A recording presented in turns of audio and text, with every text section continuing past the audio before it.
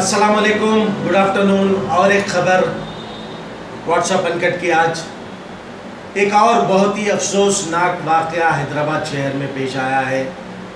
چنچل گڑا کے علاقے ڈبیر پورہ پولیس اسٹیشن لیمٹس میں ایک عربی پڑھانے والے ٹیچر نے مائنر گرل پر ریپ اٹیمپٹ کیا ہے۔ خیر، پولیس نے اسے گرفتار کر لیا ہے۔ آئیے دیکھتے ہیں۔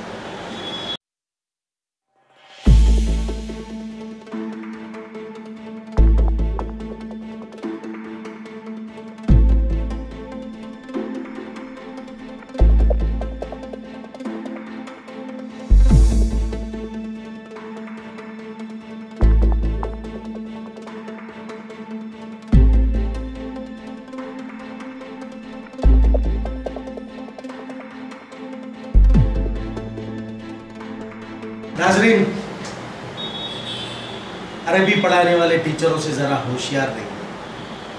خاص طور پہ جو بہار، یو پی اور دوسرے علاقے سے آتے ہیں عربی پڑھانے کے لیے، ان کے پاس اپنے لڑکیوں کو تو کیا، لڑکوں کو بھی خطہ ہی مت پڑھائیے عربی۔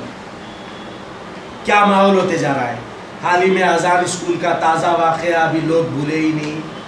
چنچل گڑا میں کلکتہ کے رہنے والا عربی ٹیچر۔